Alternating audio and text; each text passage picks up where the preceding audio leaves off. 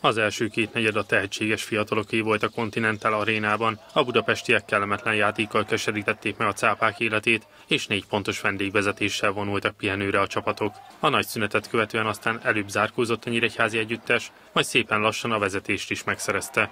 Ebben nagy szerepe volt Stojanovicsnak, a szerb idegen légiós egymaga 30 pontot szórt a mérkőzésen. A végére aztán felülrölte ellenfelét a Blue Sharks, és 82-68-as győzelmet aratott Siska János legénysége. Tudtuk, hogy keményen, agresszívan fognak védekezni, lassú kosárlát játszanak, ölik a játékot.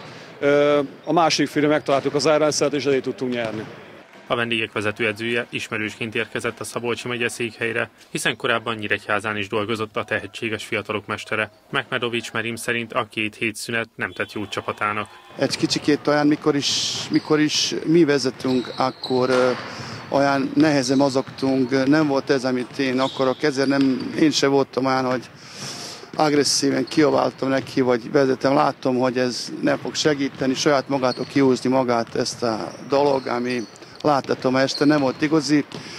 Felidőnál mondtam nekik, hogy hiába vezető 46-42, valahogy nem vagyunk mi, ez a csapat, aki akar ma este nyerni, mi nálunk mindig jó, jó részünk volt, hogy mi mindig is akarunk nyerni. Nyíregyházan sokat jobban akart győzelemet.